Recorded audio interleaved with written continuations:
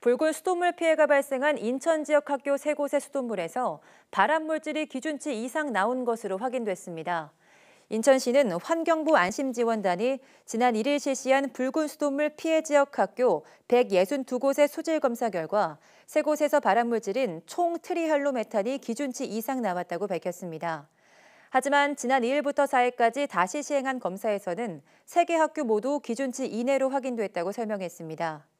일시적으로 발암물질이 나온 학교는 가좌초 등, 가좌중, 가림, 가림고등학교 등세 곳이며 총 트리할로메탄이 기준치 0.1mg을 넘은 0.12에서 0.167mg가량이 나왔습니다. 환경부는 이에 따라 지난 4일 해당 학교의 수돗물 급수를 중단하도록 했습니다.